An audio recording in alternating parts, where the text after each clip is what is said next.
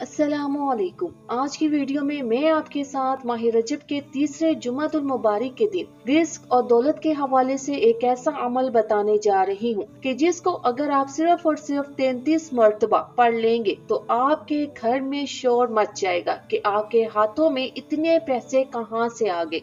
आपके घर में इतनी दौलत आ जाएगी कि सब घर वाले देख कर हैरान रह जाएँगे और आपको खुद भी यकीन नहीं आएगा। आज का ये अमल आप लोगों ने जुमा के दिन, चाहे वो माह रजब का जुमा हो, शाबान का जुमा हो या माह रमज़ान का जुमा हो, कोई भी जुमा हो, किसी भी जुमे को आप ये अमल कर सकते हैं। जो अमल मैं आपको बताने जा रही हूँ, वो अमल आप गौर से और तवज्जो से सुन लीजिए। आप लोगों ने जुमा की नमाज़ अदा करने के बाद आजजी इनकिसारी के साथ, तवज्जो और ध्यान के साथ ठहर ठहर कर अपने जहन में अपनी हाजत, अपने मकसद का तस्वर रख कर ये अमल करना है। वो अमल ये है, तैतीस मरतबा आप लोगों ने अपने हाथों की उंगलियों पर या तवाबू या करीमू, या तवाबू या करीमू पढ़ना है।